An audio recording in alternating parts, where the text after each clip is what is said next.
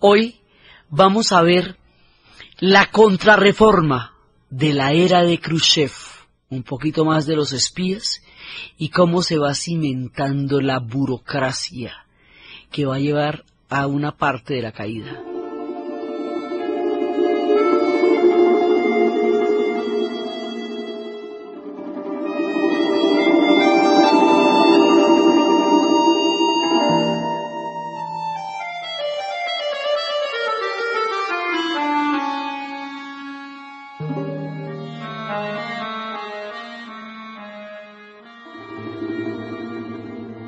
La vez pasada estábamos viendo el tenebroso y enigmático mundo de los espías. Y estábamos viendo cómo la mayoría de estas historias hoy día son museos. Y es desde allí desde donde donde nos las cuentan, después de que tanta gente dio su vida por los secretos que hoy son entretención al público. Y estábamos hablando de Alan Turing en Bletchley Park, el hombre que se inventó el Colossus, el hombre que sacó el artículo sobre la inteligencia artificial que abriría la cortina de la era de los computadores, el hombre que descifró las claves de la máquina Enigma, el hombre que a través del computador, porque la, invención del Colossus fue importantísima porque hacía que las claves que se descifraban en semanas se pudieran descifrar en horas. Y esto hace la diferencia para que información absolutamente vital durante el tiempo de desembarco de Normandía se pudiera descifrar a una velocidad increíble para la época y permitiera dar un panorama lo suficientemente amplio a Montgomery y Eisenhower para dirigir toda la operación del día D. De ese tamaño era lo de Turing. Y el hombre se inventa el Colossus, el primer computador, y estábamos hablando cómo esto va a estar en Bletchley Park, en Inglaterra.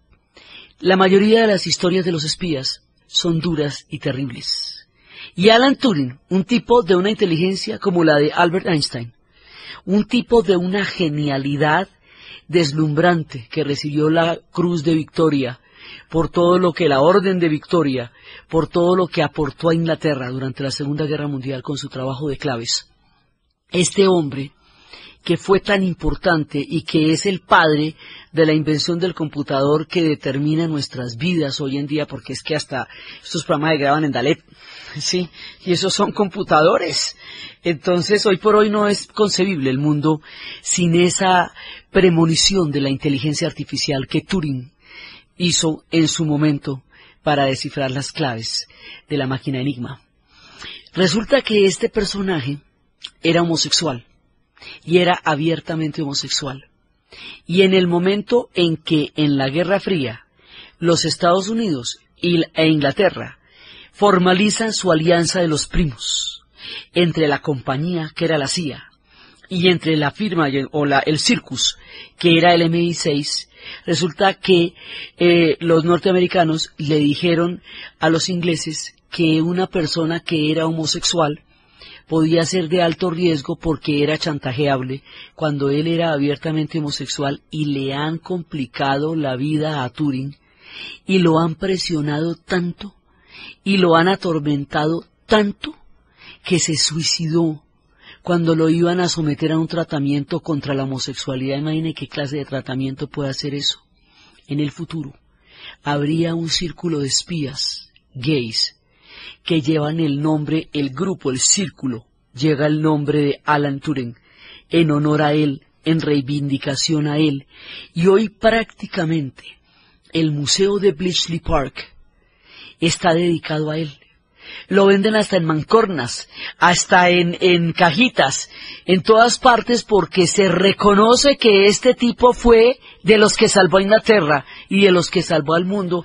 Y como les digo, era una inteligencia como la de Albert Einstein, porque era capaz de combinar la matemática, los sistemas binarios, los circuitos, todo para, era a la vez matemático, ingeniero, mecánico, genio en todo sentido. Y en su momento, eh, cuando ya lo empezaron a atormentar, solo miraron su orientación sexual y no su increíble genialidad en esas injusticias de la historia como la que en su momento se cometió con Oscar Wilde. es la historia de Turing el hombre que descifró las claves alemanas y creó la primera parte de la inteligencia artificial que cambiaría la faz del planeta y nuestra era tal como hoy la concebimos.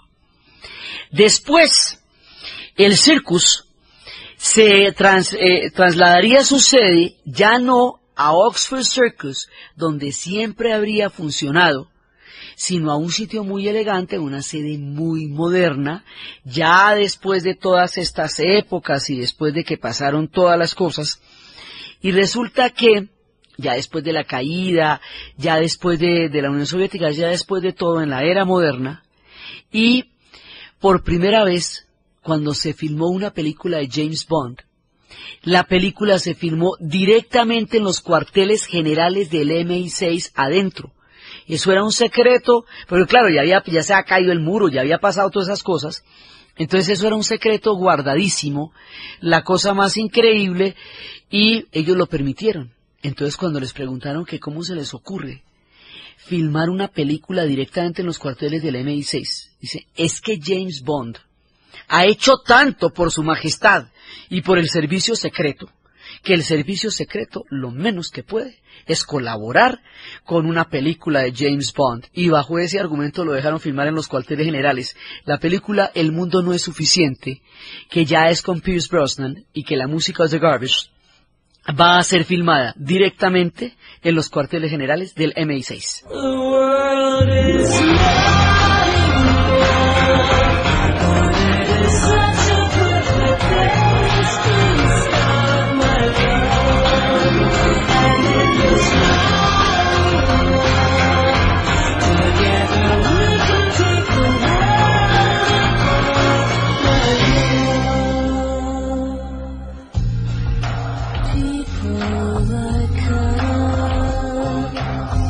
Era esa famosa imagen donde esta mujer está cantando en un auditorio toda vestida de rojo, preciosa, y va cantando esta maravillosa canción y al final se voltea y en la parte de atrás tiene una carga de explosivos y la detona.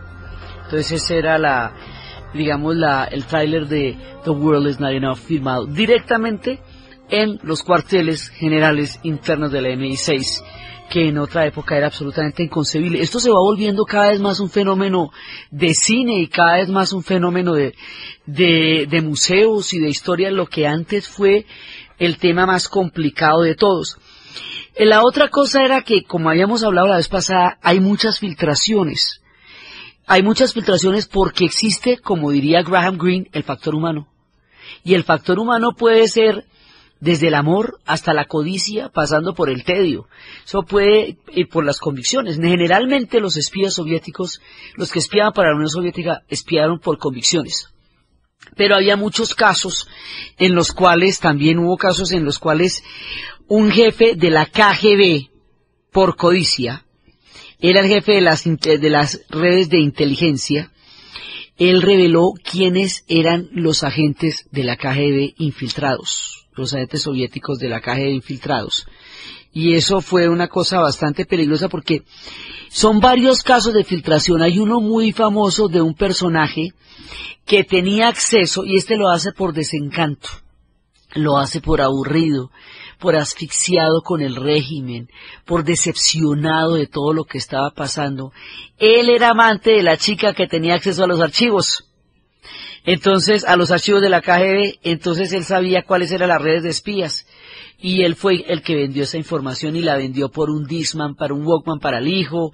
Lo vendía por cosas de nivel de vida. El quiebre siempre de la Unión Soviética era, por un lado, el tema de la libertad y por otro lado, el, nivel, el tema del nivel de vida que vamos a ver que va a ser muy grave, porque nunca hubo tiempo para mejorar las condiciones de vida de la gente, que la guerra, que la guerra fría, que, o sea, siempre había una prioridad. Entonces, la vida cotidiana nunca llegó a ser eh, placentera porque en, términos de, de, comodidad ni nada de eso, porque siempre estaban en, en, en, unas urgencias que les impedía pararle bolas a eso y por eso era que era tan, tan complicada la propaganda de Occidente y por eso era que Eisenhower cuando le dijeron que si él hubiera podido meter un solo libro de contrabando a la Unión Soviética, ¿cuál pondría? Y él dijo un catálogo de Sears. Y efectivamente, el tema del consumo era un espejismo absolutamente poderoso en el imaginario de esta Rusia austera. Todo el mundo tenía lo necesario, pero nada más. Este espía, por un poco de cosas que son de confort, de nivel de vida, vendió redes enteras de los archivos. Y vender una red, ¿saben lo que significa? No es mucha gente ejecutada, porque cada vez que los cogen los ejecutan.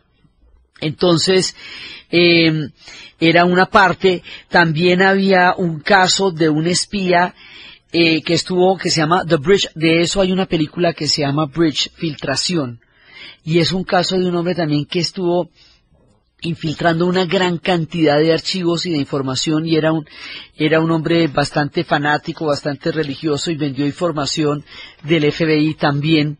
Entonces, había gente de la KGB que estaba infiltrando y estaba eh, vendiendo redes de los mismos de la KGB dentro del servicio. Hubo un caso, por ejemplo, de un personaje que se infiltró, pues el, que estaba más aburrido de todos, el que les cuento que estaba aburridísimo, él no se infiltró por los servicios británicos, ni por los servicios norteamericanos, porque esos estaban tan vigilados que hubieran sido mucho más fáciles de detectar. Ese se metió era por los los franceses, como los franceses siempre han sido independientes a los gringos y a los ingleses. Entonces se metió con los franceses. ¿Cómo sería la envergadura de los secretos que este hombre dio? Que Mitterrand mismo le dio la información a, Ronald Reagan. Él dijo, mire toda esta información.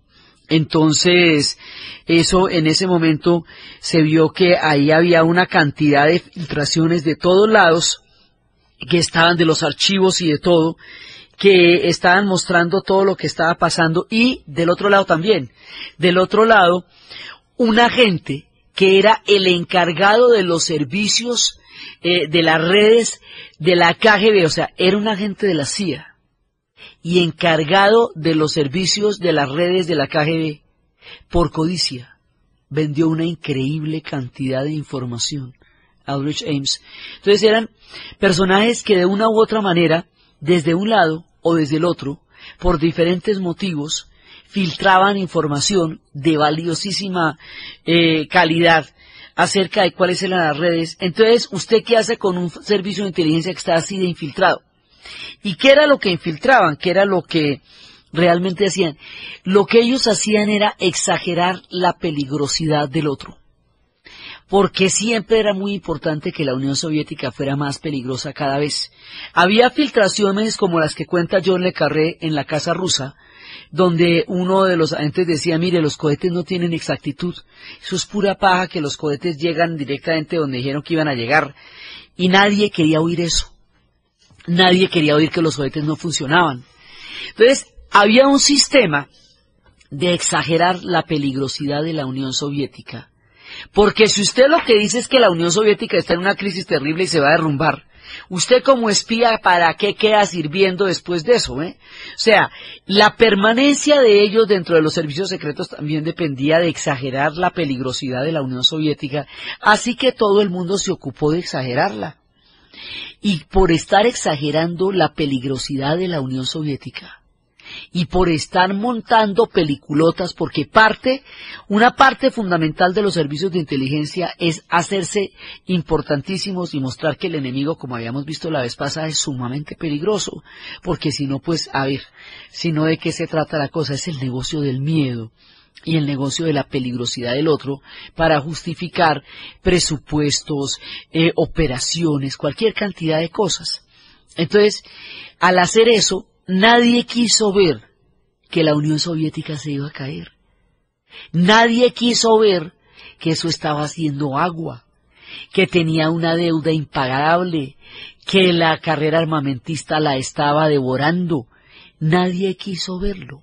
Todo el mundo quería ver era que era peligrosa y, cuáles eran los agentes. Y por eso estábamos diciendo la vez pasada que por andar queriendo ver lo peligrosa que era, nadie quiso ver lo frágil que era.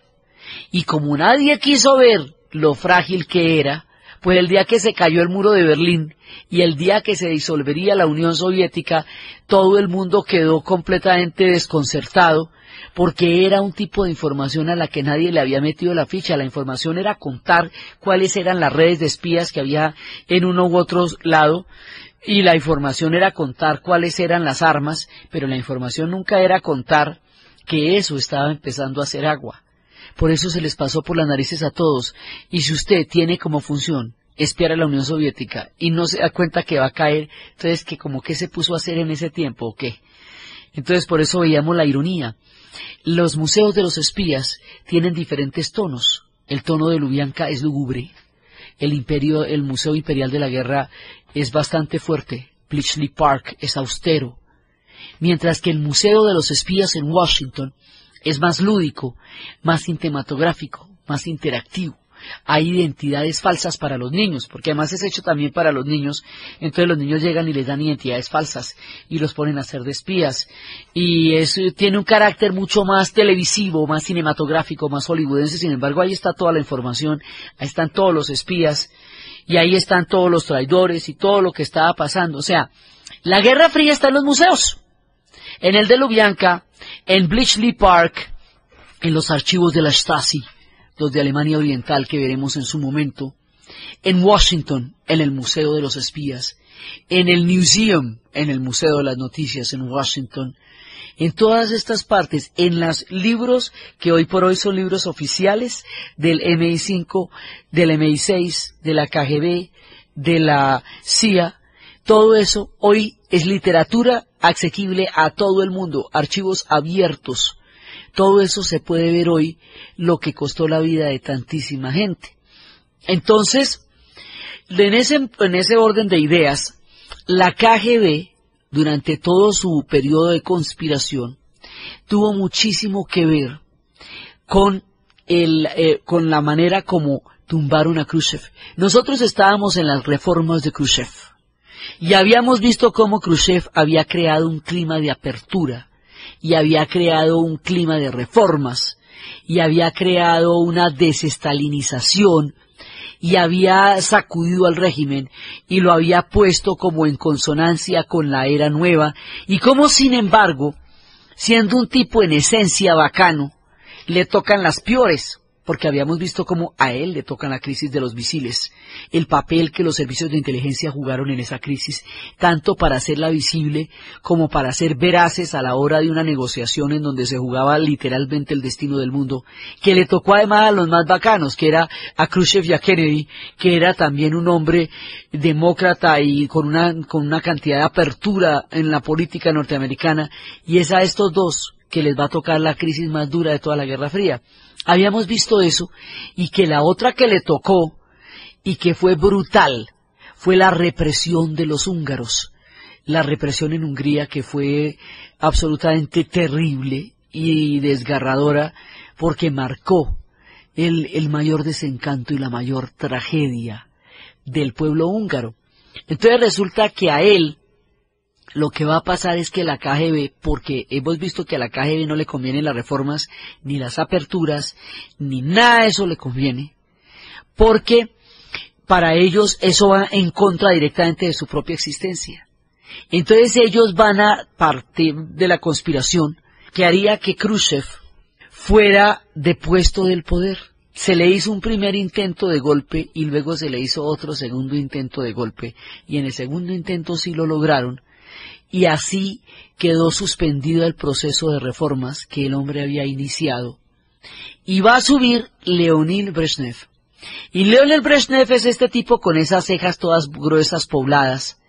Y este tipo es la contrarreforma. Este tipo es aquel que va a fortalecer la burocracia de una manera delirante los burócratas van a tomarse el poder en serio, van a aplastar todos los procesos de reformas, van a aplastar los movimientos de los pueblos, van a incentivar la represión y durante la época de Brezhnev va a surgir otra forma de represión muy grave, muy grave. Ya no eran los gulags en el sentido tradicional del trabajo forzado de Stalin. Ahora hay una forma más sofisticada y literalmente aterradora de manejar la disidencia, los psiquiátricos. El hombre va a montar un sistema de hospitales psiquiátricos en donde cualquier persona que criticara el régimen sería inmediatamente internada por loco. O sea, empiezan a, a equiparar la locura con la desidencia. Y los llegaban y les inundaban el cerebro a drogas como en las películas de terror, que los meten, los amarran y les arrancan a meter fármacos, de manera que destruían la personalidad de aquellos que se atrevían a cuestionar el régimen. O sea, que echamos para atrás. Todo lo que habíamos avanzado con la era de Khrushchev, lo echamos para atrás. Y en ese contexto, tan supremamente adverso y tan cerrado, es cuando se va a presentar uno de los fenómenos más estremecedores y más importantes de toda la era de las protestas, que va a ser la primavera de Praga. Nosotros hemos visto muchas veces en el relato cómo los checos empezaron a buscar su propia salida y la manera como la buscaron era a través de una apertura en lo que llamarían el socialismo con rostro humano. Y el socialismo con rostro humano era una reforma al socialismo en la cual, esto dirigido por Alexander Dobchek, una reforma en la cual la prensa fuera un órgano de investigación y de opinión pública y no de propaganda del régimen. Una apertura económica hacia el occidente, que le permitiera comerciar con otros países. Un apropiarse del socialismo en sus propias manos, crear ellos sus propias instituciones socialistas, no un socialismo hecho desde arriba, sino construido por los propios checos. Ellos decían, bueno, está bien, en, en la época de la guerra las cosas eran muy rudas y supongamos que hubiera sido necesario eh, la imposición desde arriba pero ahora somos un pueblo que ha madurado mucho y puede tomar la historia en nuestras manos.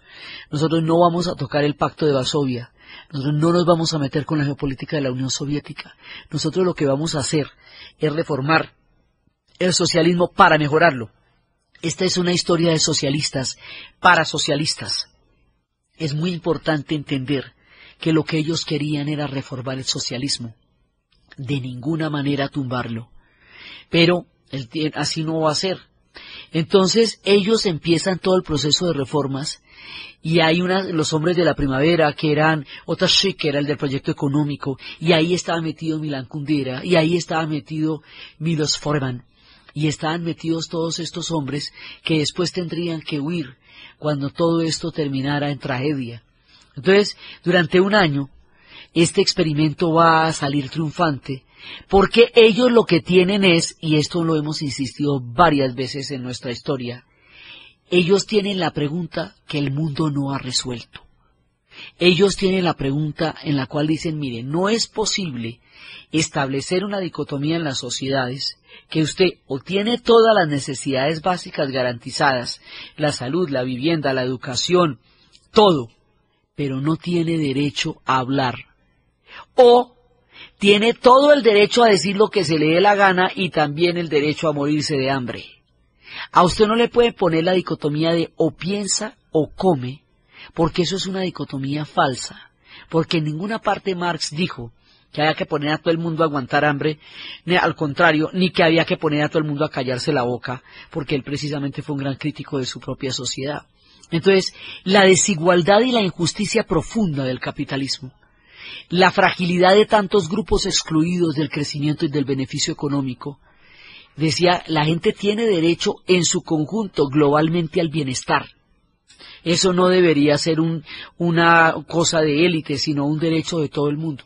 Pero por ese derecho, usted no puede pagar con el silencio y usted no puede pagar con la autocensura, porque ese no puede ser el precio de la comida.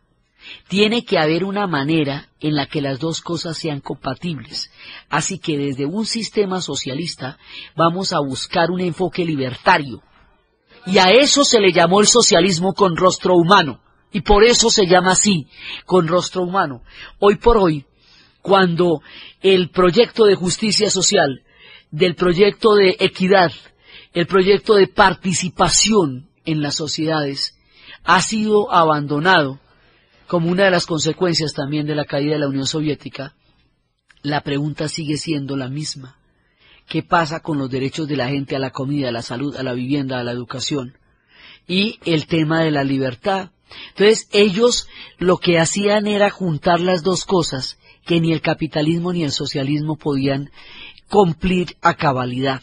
Sí es cierto que en las sociedades industriales llegaron a darse estados benefactores que cubrían buena parte de la población, pero ese no era el caso de la mayoría del mundo y sigue sin serlo. Y, por el otro lado, el silencio, la disidencia, los castigos, las purgas, los trabajos forzados, los psiquiátricos, los gulags, hacían ver que un precio tan alto no lo puede pagar ningún ser humano porque pagaba la comida con dignidad. Entonces, por eso era que ellos intentaron hacer un cruce histórico propio, que era el socialismo con rostro humano. Las preguntas que hicieron los checos, el mundo no las ha respondido. El experimento de ellos, que hubiera podido cambiar para siempre el rumbo de las doctrinas y de las ideologías, y hacerlas posibles y coexistentes, fue brutalmente truncado por la misma era en la que se dio y por la dinámica de aplastar los movimientos de los pueblos, y al hacerlo fue cuando le rompieron el alma a este pueblo durante tanto tiempo. Entonces, un oficial húngaro es el que va a decir, después de que todo el mundo estaba recontento con lo que estaba pasando, y los que no estaban de acuerdo no era porque no quisieran las reformas, sino porque temían terriblemente la reacción que la Unión Soviética pudiera tener al proceso que estaban dando cuando ya estaban empezando a soplar vientos de contrarreforma. Entonces, en ese momento llega la llamada de un oficial húngaro a, una llamada anónima diciéndoles que las tropas del Pacto de Varsovia se aproximan hacia Praga. Y ellos, los checos, los checoslovacos, porque en esa época era el país de Checo-Eslovaquia, los checoslovacos que vieron caer a los húngaros, saben que una resistencia eh, armada no tiene sentido, solo lleva a la mortandad. Ellos vieron caer a los húngaros en las calles de Budapest. Ellos vieron aplastar una rebelión con tanques y sabían que eso no conducía a ningún camino y que lo único que había quedado para Hungría era una profunda herida y que el hecho de haberse metido con la estructura misma de potencia de la Unión Soviética, que era el Pacto de Varsovia, era lo que más había producido una reacción semejante. Entonces, la experiencia húngara va a hacer que la reacción checa vaya a ser distinta a la que tuvieron los hombres y las mujeres en las calles de Budapest.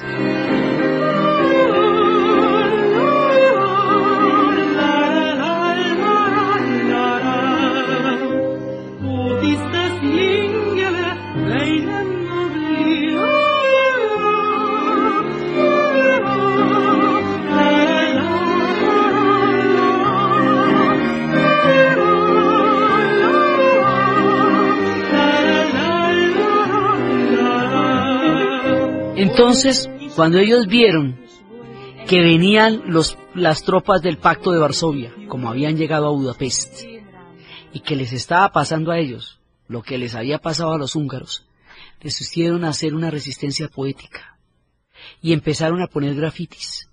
Moscú, 1200 kilómetros de Praga. Moscú, 1200 kilómetros de Praga. Y se reunieron en la plaza de San Wenceslao, donde Alexander Dubček les dijo, que en el momento en que sonara el himno nacional, en ese momento habría terminado la rebelión. Y ellos empiezan a decir, Lenin, ¿qué pasa? Todos se han vuelto locos.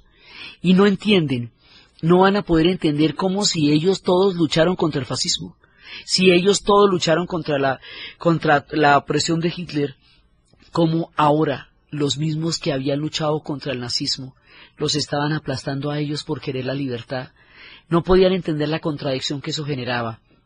Y después de eso, todas estas personas van a ser confinadas a destinos adversos. Y el símbolo de la resistencia va a ser el estudiante Jean Polak, que se va a prender fuego en la mitad de la plaza de San Wenceslao y llevar en protesta por lo que está pasando y llevar flores a la tumba de Jean Polak y de su amigo se va a convertir en la forma de resistencia de los checos que irán una y otra vez a colmar de flores la tumba que hoy existe todavía en la plaza de San Wenceslao, y durante el resto del tiempo ellos van a pasar 15, 20 años en la cárcel, van a prohibir las obras, la decepción profunda de lo que pasó en la primavera de Praga marca la obra de Milán Kundera y en novelas como La broma, él muestra cómo a los intelectuales se les, se les quebró el alma poniéndolos a ejercer oficios eh, indignos y quitándoles la posibilidad de expresarse a través de su pluma, que era la manera como ellos existían. Como no hay, aquí hay un partido único, entonces usted no puede hacer oposición. Entonces la oposición la hacían los intelectuales. Entonces la manera de desactivar a los intelectuales era alejarlos del oficio en donde podían florecer en el pensamiento, en las artes, en la palabra, en los conciertos, y quitándolos de la posibilidad de formar parte de las orquestas, de publicar, de todo. O sea, es una muerte en el alma la que le van a hacer a los checos. Y eso va a quedar plasmado en toda la obra de Kundera.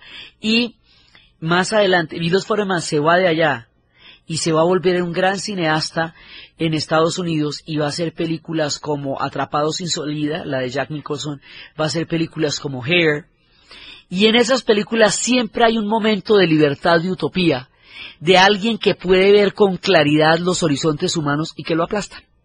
En el caso de, de Atrapados sin salida, basado en una novela norteamericana, el personaje va a quedar desactivado psiquiátricamente. Y en el caso del muchacho de Hair, que es el que plantea la libertad en toda su expresión por un e-, error brutal, va a ir a morir a Vietnam. En todas las películas de Milos, Forman los sueños son en algún momento brutalmente aplastados y la belleza de su obra consiste en mostrar la envergadura de los sueños, de manera que cuando mueren son muchísimo más dolorosos. El museo, hoy por hoy, todo esto es museo, ¿no? Hoy por hoy, después existe el Museo del Comunismo en Praga y la figura delante, la figura para entrar al museo es una matrusca con unos dientes de monstruo, o sea, con una mirada siniestra. Las matruscas siempre tienen unas miradas sumamente dulces porque además a través de las matruscas se representan muchas veces los, los cuentos infantiles. Una de sus características es la dulzura y la belleza con que, y el arte con que están hechas las matruscas.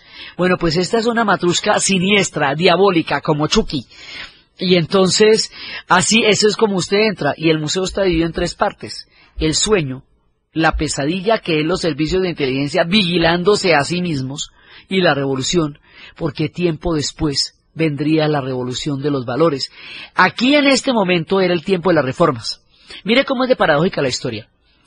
El tiempo de las reformas para el zarismo era 1905. En 1905 a gritos estaba pidiendo Rusia inclusión, reformas, comida, eh, condiciones de bienestar. Eh, la pequeña apertura que habían hecho Sviatopol, Minsk y White va a ser brutalmente reprimida. Y lo que va a hacer el zar Nicolás es aplastar cualquier posibilidad de reforma o cambio. Y ya ahí se acabó el cuarto de hora del zarismo, porque la siguiente vez ya nadie le iba a pedir permiso para nada, sino que iban a acabar con el régimen de una manera similar. Este es el tiempo de las reformas. Era Hungría, era Berlín, era Praga, era Polonia. Pero resulta que no, sobre todo es que el tema de Praga es que es muy particular, porque ellos sí eran socialistas de verdad. Los húngaros también, pero estos querían era reformar el socialismo y lo que va a pasar es que al aplastar la primavera de Praga, al haber llenado eso de tanques. Los tanques entraron en 1968, en junio del 68, y salieron de ahí en 1989. O sea, esto va a durar mucho tiempo y van a apoderarse por completo de, de la ciudad y del país.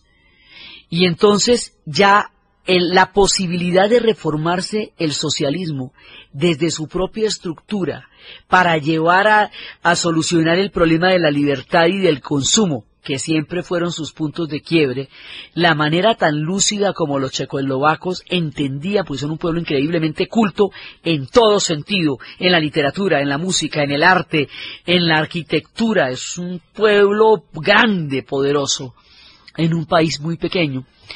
Ellos tenían una mirada del mundo enorme y esa mirada la van a aplastar los tanques soviéticos. Primero nos vamos a quedar con la duda de cómo hubiera podido evolucionar esta mirada. Y segundo, se le acabó el cuarto de hora al régimen ahí. La Unión Soviética se entierra en el momento en que, en que va a destruir la primavera de Praga, porque ya después, ya nadie les va a pedir permiso para nada, ya después viene la revolución de los valores.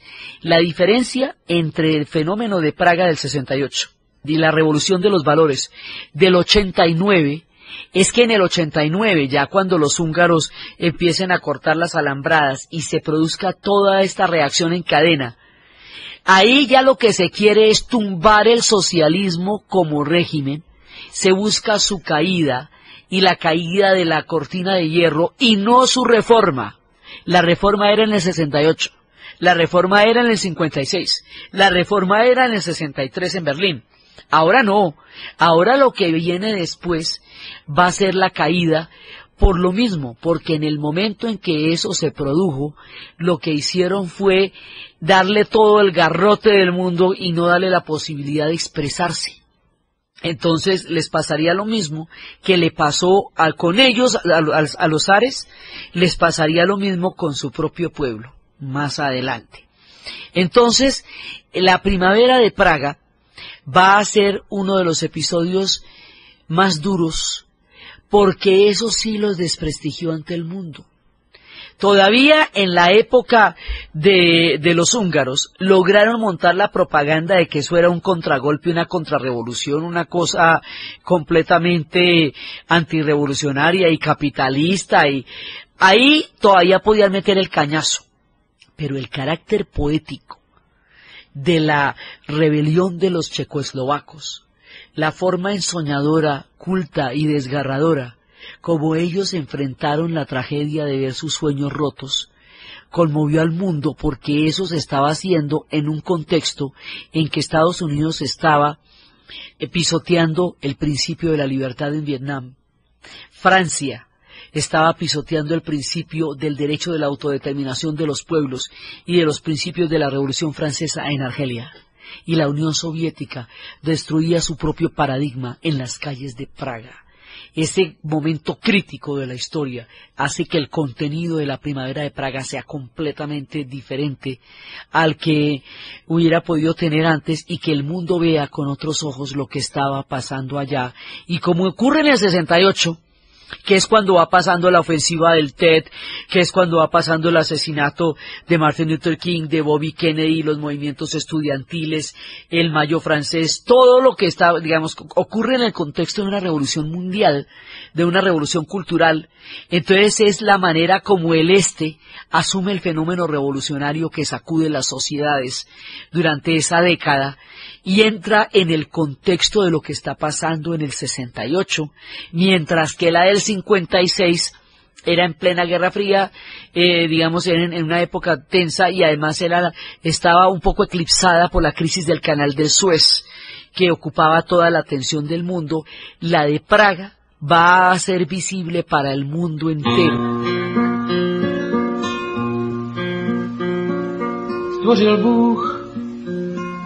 Stvořil Bůh ratules, bych mohl věnce vázat. Děkuji, děkuji za bolest, jež učí mne se tázat. Děkuji, děkuji za nezdar.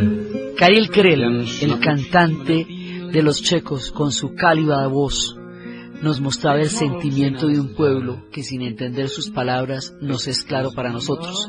Tiempo después, los checos lograrían su liberación, Alexander Dubček saldría de la cárcel y habría dicho que la perestroika en el futuro no era otra cosa distinta, según lo había dicho Gorbachev, que el socialismo con rostro humano. O sea, 20 años después la Unión Soviética se daría cuenta que esa era la solución cuando ya había aplastado el alma de un pueblo. Pero esto es un episodio, el momento en que empieza a hacer agua realmente, donde las cosas empiezan a complicar es por donde siempre se han complicado, por Polonia. La historia del mundo en Caracol Radio.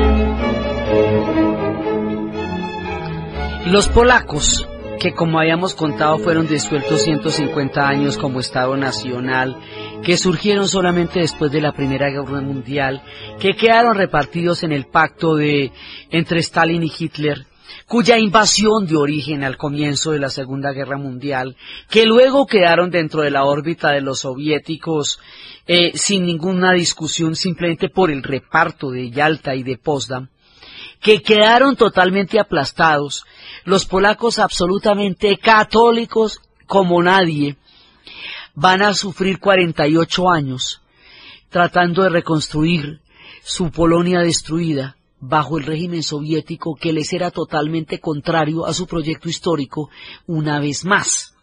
Ellos son los que van a iniciar la dinámica que en el futuro va a llevar a la caída y lo van a iniciar con el movimiento de solidaridad de la Walesa en los astilleros de Ganst.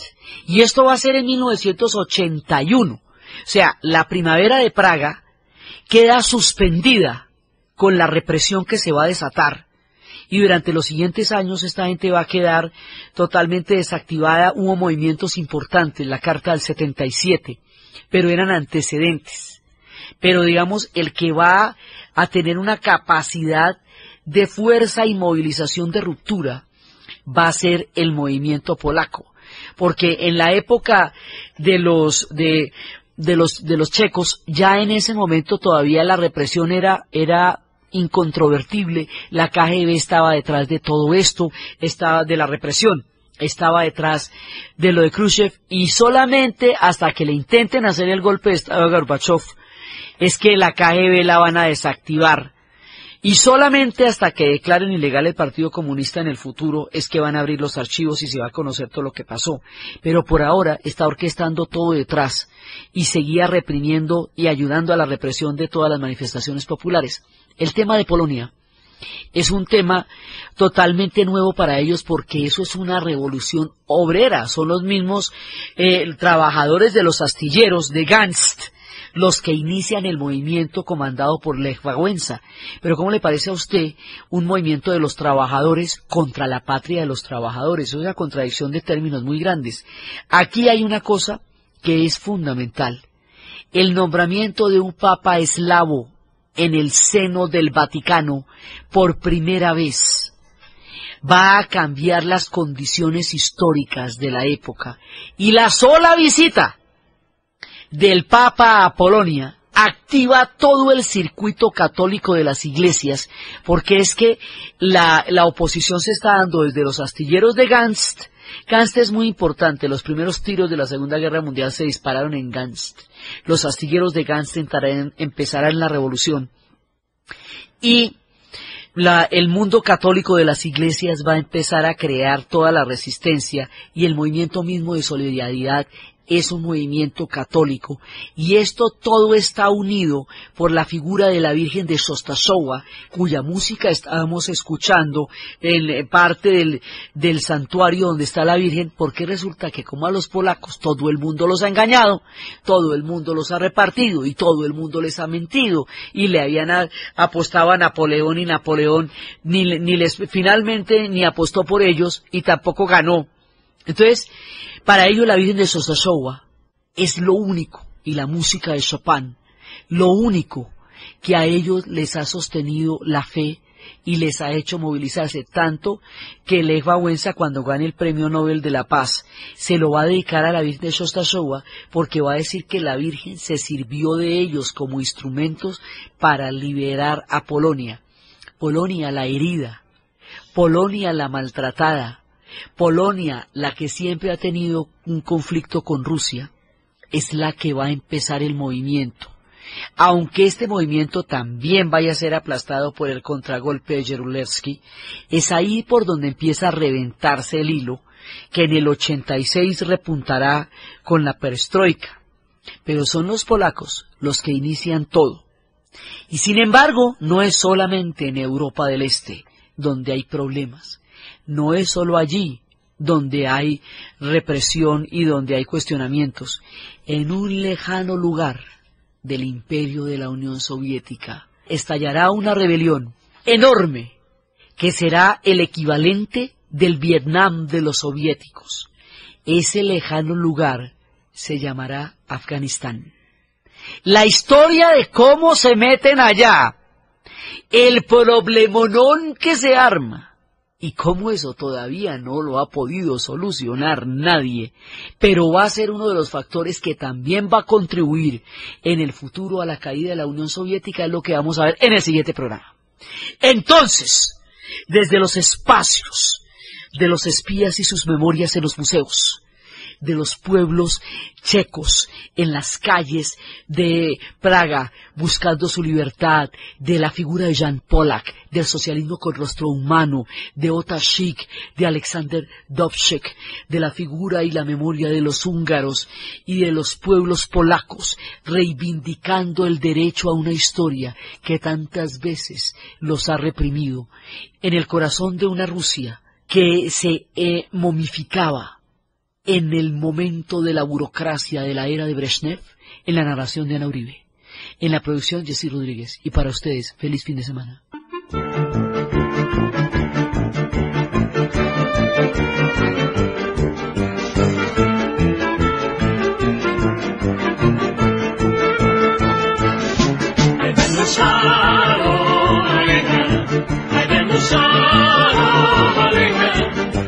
Shalom Aleichem, Shalom Aleichem,